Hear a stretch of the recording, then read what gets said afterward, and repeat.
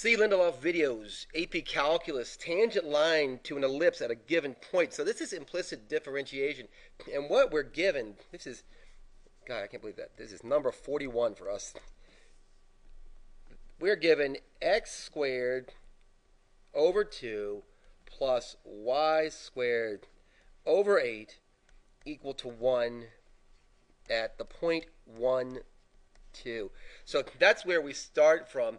And all we have to do here is kind of get through this little piece of calculus and then use point slope form to come up with our equation. So let's see if we can differentiate this thing. So the first thing I am going to do is I am going to differentiate this thing. So I'm going to declare that I'm going to take d dx of this thing. The other thing I'm going to do is this, and you don't have to do this, but I'm taking d dx of 1 half x squared plus 1 eighth y squared equal to 1 at the point 1, 2. Maybe this doesn't bother you. I just like it this way. I can kind of see it better. So I'm going to go ahead and just start differentiating. And as you do, it cleans up really nicely. I mean, this is not a big deal, I don't think. Um, ddx of this is just x, isn't it? Plus 1 fourth y times y prime is equal to 0. Isn't that right? So I'm using the chain rule here.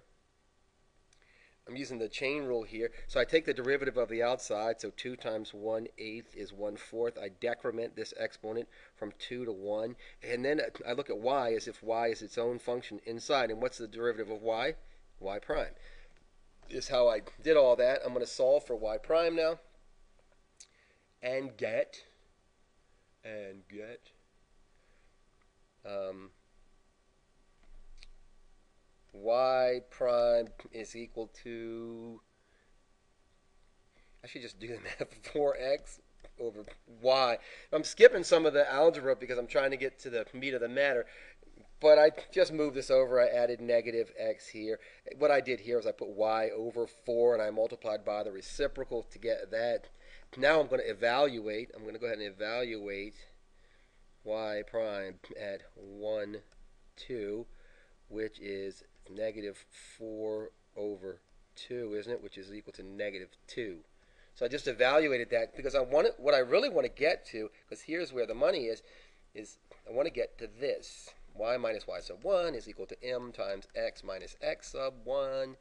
Therefore, I have, here's my x and y values, x and y values.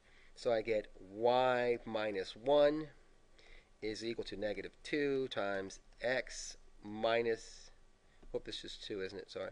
2 minus 1 here, right? Simplify my math out here, and this goes to y is equal to negative 2x plus 4. Done and done. So again, skip some of the algebra, but hopefully this made sense to you.